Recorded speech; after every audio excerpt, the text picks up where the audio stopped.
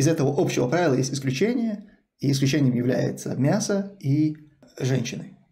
Именно в их отношении работает обратное правило. Запрещено все, на что, что не дозволено. Я, я не знаю вообще в истории, никак, истории никаких террористов, которые бы требовали мира. Террористы всегда требуют денег, там, каких-то, наоборот, а, каких-то политических там, а, дивидендов и так далее, хотят прийти к власти.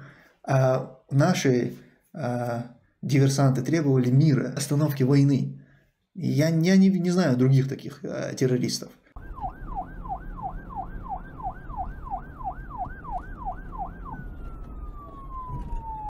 Салам алейкум. Поклонение должно основываться на шариате, и не, а не на страстях и нововведениях. Также и строительство государства тоже должно основываться на шариате, а вы даже поговорить вслух, проговорить вслух это боитесь. Нет, Фархат Марданов, мы как раз таки не боимся и очень легко именно вот эти моменты проговариваем. Но это, это ведь нововведение, это беда, то, что ты сейчас говоришь. Ты поставил на, на одну ступень айбаду, поклонение с государством. Это величайшее заблуждение, потому что э, это, этому совершенно разные подходы в фикхе, в усуль фикхе, так как в ибаде запрещено все харам, все то, на что нет прямого указания, то есть все, что не разрешено, это запрещено. А в любом ином вопросе, не касающемся айбады, в шариате Аллаха все дозволено, кроме того, что запретно, запрещено прямым текстом. Если кто-то не понял, что я имею в виду, разъясню это более, разжую, так скажем. В айбаде, то есть в поклонении Господу, мы не можем ничего от себя взять и сделать. Мы можем сделать только то, на что есть прямое указание, довод. Все остальное является для нас запретным. Как, допустим, четырехракатный намаз, да, или двухракатный, вот эти ракаты, которые прописаны. Мы не можем взять и от себя добавить еще один ракат это харам, это будет запрет, это величайший грех. Ты не можешь взять и утренний намаз совершить в трех ракатах. Почему ты не можешь этого сделать? Потому что указание пришло только на два раката. Если ты от себя добавишь третий ракат, ты посягнешь на право Всевышнего Аллаха узаканивать а, поклонение. Поэтому общее правило к поклонению такое. Запрещено все, на что нет прямого указания. Все харам кроме того, что дозволено. А в быту, наоборот, дозволено вообще все, на что нет прямого запрета. Я могу пить эту воду, как я хочу, если не пришел какой-то запрет. Допустим, я пью воду из стакана. Это в своей основе мубах, это дозволено. Если нет какого-то текста, который бы гласил, нельзя пить воду из стакана. Понимаете? То есть все, что не запрещено прямым текстом, все это разрешено. И вот теперь, если ты хочешь сказать, что государство, построение государства является айбадой, то на это нужен довод. Тогда мы это примем и скажем, окей. А, кстати, надо упомянуть, что из этого общего правила бытового все дозволено, кроме того, что нет, э, на что есть запрет. Из этого общего правила есть исключение, и исключением является мясо и женщины. Именно в их отношении работает обратное правило. Запрещено все, на что, что не дозволено. То есть в плане отношений, то есть интима, и в плане мяса. Запрещено любое мясо, которое не халял. Э, то есть это исключение из этого общего правила. Но государство не входит в это исключение. Теперь, если же вы хотите сказать, что государство тоже является ибадой, то на это нужен довод – если же вы этого довода не приведете, то это бид'a, который вы вводите в религию. И если же вы скажете, нет, там будете на что-то ссылаться, то я вас спрошу, как же так получилось, если государство, построение государства, по, по вашему утверждению, если вы так утверждаете, является ибадой, то как же так получилось, что это нам не разъяснили? Как так получилось, что пророк, мир ему и благословение Аллаха, ушел из этой жизни, не разжевав нам все в отношении государства, ушел таким образом, что сразу после смерти, сразу после смерти пророка, мир ему и благословение Аллаха, он еще не был похоронен, его тело омывалось э, Али ибн Абу Талибом, да будет довольным Аллах, и родственниками пророка, и в это время вот, вот его тело еще омывается, он еще не похоронен, уже в этот момент возникает первое, первые разногласия в вопросах построения государства. Ансары говорят, один правитель должен быть от нас, мухаджир один от мухаджиров. Омар возражает на это. Как это происходит?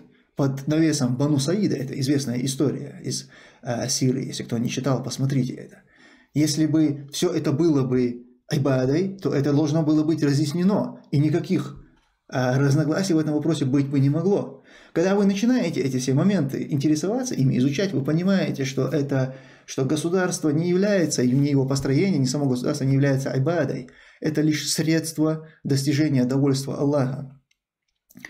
И это относится к бытовым вопросам. И если вы посмотрите а, первый период праведного халифата, четыре, четыре праведных халифа, вы увидите, что они, все они приходили к власти и делали это не по тексту какому-то, а в зависимости от ситуации.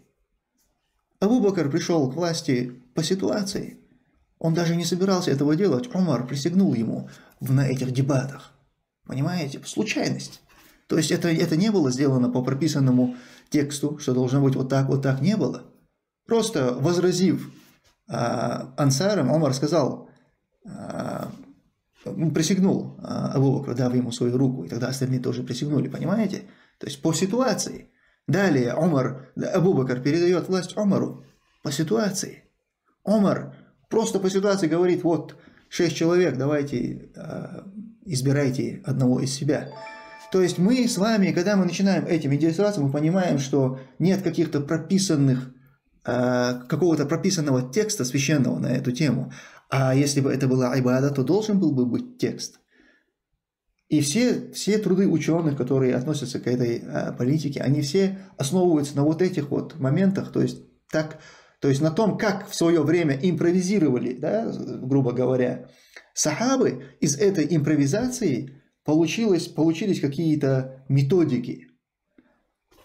Но это ведь нам говорит о том, что это не является ибадой. Да, я согласен с тем, что их а, сунна является для нас сунной, да, в соответствии с хадисом посланника Аллаха, мир ему и благословение Аллаха. Однако это ведь не указывает на то, что это ибада. Вот в чем дело.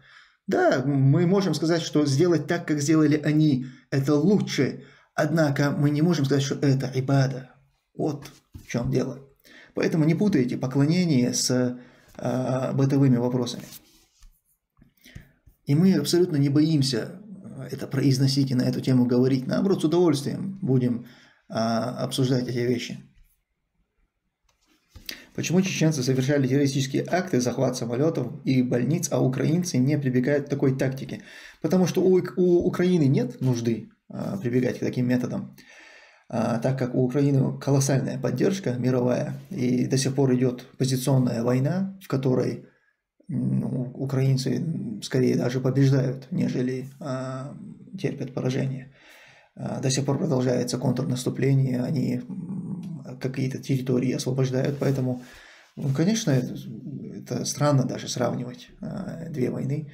Чеченцы, которые не могли противопоставить а, самолетам, авиации, артиллерии ничего, кроме там Наша, как, как пелось в этой песне, чеченский атом – это гранатомет. Вот это было наше самое как грозное оружие. И в этой ситуации, конечно, чеченцы пытались хоть как-то а, привести Россию, принудить Россию к миру. И вот эти вот попытки, какие-то а, диверсионные акции на территории России, они все проводились а, с целью привести к миру. И неправильно, конечно, называть их терактами. Это Россия называет их терактами. Конечно, это не были террористические акты, потому что ну, я, я не знаю вообще в историю, никак, истории никаких террористов, которые бы требовали мира. Террористы всегда требуют денег, там, каких-то, наоборот, а, каких-то политических там, а, дивидендов и так далее, хотят прийти к власти. А наши диверсанты требовали мира, остановки войны. Я, я не, не знаю других таких э, террористов.